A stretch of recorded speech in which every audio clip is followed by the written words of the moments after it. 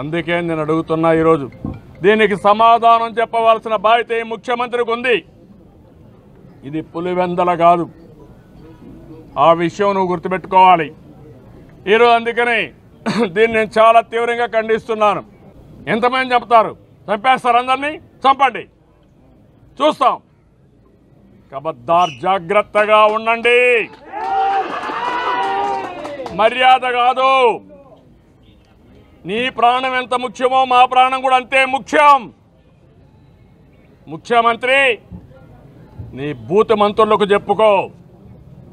నీ ఎమ్మెల్యేలు రౌడీలు ఎమ్మెల్యేలకు చెప్పుకో. ఇదే జరిగితే బట్టలు ఇప్పి. తరుముకునే పరిస్థితి వస్తుంది పారిపోయే పరిస్థితి వస్తుంది. జాగ్రత్తగా ఉండమని ఈ ప్రభుత్వాన్ని హెచ్చరిస్తున్నా. నలభై ఏడు రాజకీయాలు చూశాను ఎప్పుడన్నా తెలుగుదేశం పార్టీ టైంలో ఒక్కరికైనా ఎక్కడన్నా అన్యాయం జరిగిందండి? దాడులు జరిగాయండి? ఎవడైనా రౌ- రౌడీ అనేవాడు రాష్ట్రంలో లేకుండా చేశాం. మా ఎమ్మెల్యే ఎక్కడ తప్పులు చేశారా అండి? ఎవరన్నా మాట్లాడితే పౌరుషంగా ఒక మాట మాట్లాడితే పిలిచి నేను మందలించేవాడిని. అది మేము కంట్రోల్ చేసిన విధానం. అది మా ప్రజల్లో నిబద్ధత. సమాధానం చెప్పండి. ఎందుకు మీరు డీజీపీ? ఎవరు ఇస్తున్నారు మీకు జీతం? జగన్మోహన్ రెడ్డి ఇవ్వడంలా ప్రజలు ఇస్తున్నారు. ప్రజల పన్నులతో మీరు కాకి బట్టలు వేసుకొని ఊరేగుతున్నారు గుర్తుపెట్టుకోవాలా? చంపుతావనన్ను కూడా చంపు. ఏమనుకుంటున్నారు? అందుకని మేము ఒకటే హెచ్చరిస్తున్నాం. ప్రజల తరపున పోరాడుతున్నాం నా కోసరం కాదు ఇక్కడే వ్యక్తుల కోసరం కాదు. ఏం మాకేమండి? ఎందుకు పోరాడాలి? ప్రజల మీద దాడులు జరుగుతున్నాయి. మీకు అన్యాయం జరుగుతుంది. ప్రజాస్వామ్యంలో ప్రతిపక్షం ప్రజల తరపున ఎప్పటికప్పుడు పోరాడి ప్రభుత్వాన్ని హెచ్చరికలు చేస్తూ న్యాయం చేపించడానికి మేముంటే మీ ఉన్మాదంతో మీరు పోలీస్ అధికారులు పెట్టుకొని మా మీద దాడులు చేస్తారా? ఎంతమంది పైన దాడులు చేస్తారు? ఏం చేస్తారు మీరు? ప్రజలు కన్నెర్ర చేస్తే మీరు బయట కూడా రాలేరు గుర్తుపెట్టుకోవాలా? అందుకే మళ్ళీ మళ్ళీ చెప్తున్నా ముఖ్యమంత్రిని. మీరు ఎప్పటికప్పుడు లా అండ్ ఆర్డర్ మెయింటైన్ చేయండి. మీరు లా అండ్ ఆర్డర్ మెయింటైన్ చేయలేకపోతే మీరు ముఖ్యమంత్రిగా ఒక్క నిమిషం కూడా ఈ రాష్ట్రానికి ఉండడానికి అర్హత లేదు. ఒకవేళ నువ్వు అనుకోవచ్చు నూట యాభై ఒక్క మంది ఎమ్మెల్యేలు ఉన్నారని. నీ ఎమ్మెల్యేలు మిమ్మల్ని కాపాడలేరు. ఇది రాజ్యాంగం అంబేద్కర్ రాజ్యాంగం. ఆ అంబేద్కర్ గారు ఏ చెప్పారో? దాని ప్రకారం చట్ట ప్రకారం. ఇది. అంబేద్కర్ కాలనీ.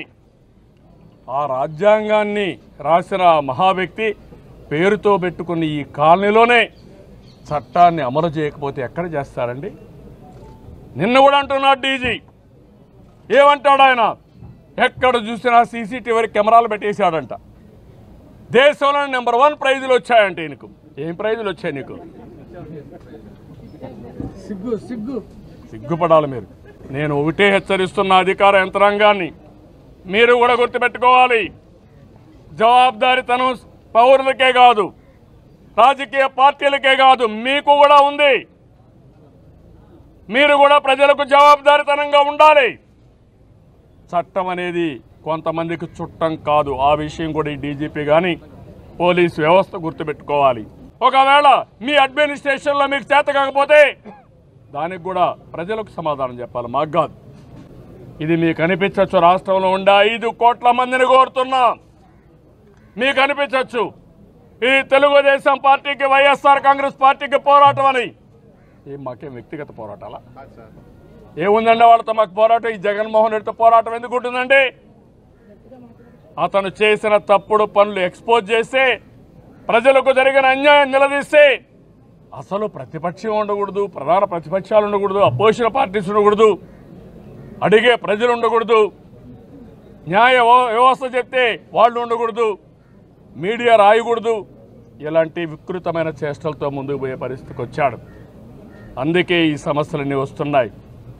అతను రౌడీలను తయారు చేస్తున్నాడు. సంఘ విద్రోహ శక్తులు తయారు చేస్తున్నాడు. ఇష్టానుసారంగా సమాజం పైన వదిలిపెట్టే పరిస్థితికి వస్తున్నాడు. అందుకే మళ్ళీ మళ్ళీ ప్రజలందరూ కోరుతున్నా జరిగే విషయాలని మీరు ఆలోచించండి. మీరు కూడా చైతన్యవంతులు కండి. ఇది నా సమస్య కాదు.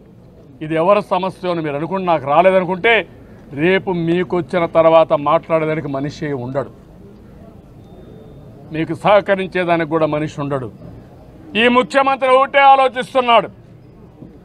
ప్రజల్ని ఎవరు వ్యతిరేకంగా మాట్లాడితే వాళ్ళందరినీ వేధించడం. వేధించిన తర్వాత వాళ్ళు భయభ్రాంతులైపోయి దిక్కు తోచని పరిస్థితిలో వాళ్ళు వాళ్ళే ఆత్మహత్యలు చేసుకునే పరిస్థితి భయపడిపోయి అబ్దుల్ సలాం విషయంలో అదే జరిగింది. కుటుంబం కుటుంబం ఆత్మహత్య చేసుకునే పరిస్థితికి వచ్చారు నలుగురు. ఎంత మానసిక క్షోభ అనుభవించారు. ఇద్దరు పిల్లల్ని రైల్వే ట్రాక్ దగ్గర తీసుకెళ్ళి రైల్వే ట్రాక్ కట్టేసి భార్యాభర్త ట్రైన్ కింద పడి చనిపోయారు నలుగురు. ఇది అవమానం లేదా మనందరికీ? అలాంటి వాళ్ళు చాలామంది చనిపోయారు. కొంతమందిని వీళ్ళే చంపేశారు. అది కూడా అడ్రస్ లేకుండా చంపిన తర్వాత కూడా ఎట్ట చనిపోయారో తెలియని పరిస్థితి తీసుకొచ్చారు. కొంతమంది పైన దాడులు చేసి భయభ్రాంతులు చేసి ఎక్కడికక్కడ ఇంట్లో నుంచి బయట రానివ్వకుండా మాకెందుకని పెరిగితనం డెవలప్ చేసే విధంగా చేశారు. ఇవన్నీ చేసిన తర్వాత ఇప్పుడు ఇలాంటి జరుగుతున్నాయంటే ఇది మీరు అర్థం చేసుకోవాలి. ఇలాంటి వ్యక్తులు ఇలాంటి రాజకీయ పార్టీలు నేను ఎప్పుడు చూడాల నలభై సంవత్సరాలు నా రాజకీయ జీవితంలో. ఎప్పుడు కూడా ధర్మం గెలుస్తుంది. న్యాయం నిలబడుతుంది. చట్టం అది అంతిమ గెలుపు. ఆ విషయం మనం గుర్తుపెట్టుకోవాలి. కానీ ఈరోజు చూడండి. అచ్చెన్నాయుడు పైన ఇంతవరకు నాలుగు కేసులు పెట్టారు. ఒక లెటర్ రాశాడని ఈఎస్ఐలో డెబ్బై ఎనభై రోజులు జైల్లో పెడతారు అదైన తర్వాత నాతో కలిసి ఎక్కడైతే రామతీర్థంలో రాముడి తల తీసేసి అక్కడికి పోతే మేము పోయిన తర్వాత వస్తామని చెప్పిన తర్వాత ఏ టూ వస్తారంటే అతను అలో చేసి మమ్మల్ని డిలే చేసిన తర్వాత అక్కడ ప్రజలు ఎవరో ఒక బాటలు నీళ్ళ బాటలు విసిరేస్తే ఆయన చేసిన పనులకి మా మీద కుట్ర కేసులు పెడతారా? మూడు వందల ఏడని అటెంప్ట్ మర్డరు. బుద్ధుందా మీకు? సిగ్గుపడరా మీరు?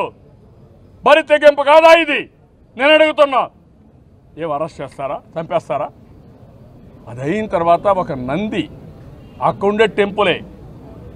ఆ నంది విగ్రహాన్ని పాత నంది ఉంటే కొత్త నంది పెట్టించి ఆ ప్రైవేట్ టెంపుల్ వాళ్ళు ఒక తీర్మానం చేసి ఎదురుగా ఉండే రోడ్డు మీద ఆ నందిని తీసుకపోతే అందులో అచ్చెన్నాయుడికి నోటీస్ ఇస్తారా? నిన్న వాడ ఊరిపైన దాడి. వాడ ఊరిపైన దాడి చేసి కడాన అచ్చెన్నాయుడి పైన కేసు పెడతారా మీరు? అంటే ఏమనుకుంటున్నారు మీరు? అంటే ఏ తప్పు చేయక్కర్లేదు. ఆ వీడియో చూడండి మీరు. ఆయన అడిగిన విధానంలో ఎక్కడైనా సరే ఒక తప్పు ఉంటే ఏ సెక్షన్ కింద ఆయన తప్పు చేశాడో చెప్పమని డీజీపీని అడుగుతున్నా. చెప్పరు. అక్కడ అపోజిషన్గా ఎవరైతే పోటీ చేసిన అభ్యర్థి ఊరి మీద దాడి చేశాడు మారణాయుధాలు తీసుకొచ్చాడు. కానీ అతని మీద మాట్లాడరా మీరు? ఏమనుకుంటున్నారు? అంటే రౌడీలు తయారు చేసి పంపిస్తారా మా మీదకి? ఏమవుతుంది మీరు రౌడీలు పంపిస్తే? దానికి కూడా హద్దు ఒక పద్ధతి ఉంటుంది.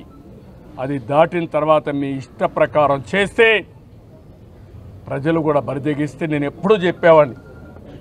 ఏదైనా సరే లా అండ్ ఆర్డర్ అనేది ఒక పద్ధతి ప్రకారం ఉంటే ఆ లా అండ్ ఆర్డర్ వల్ల అందరికీ బెనిఫిట్ ఉంటుంది.